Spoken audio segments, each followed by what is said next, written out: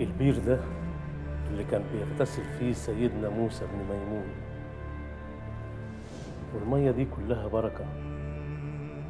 بتشفي المريض. ترد البصر للأعمى. كل المطلوب منك إنك أنت هتباتي هنا الليلة. وكل شوية تغسلي وشك وإيديك من المية الطاهرة دي. وتصلي.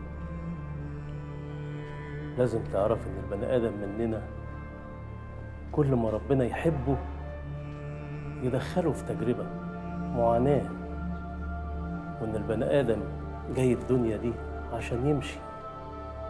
وما بين ميلاده وموته كأنه غمض عينه وفتحها عشان يفوز في الآخر بالخلود أسيبك دلوقتي.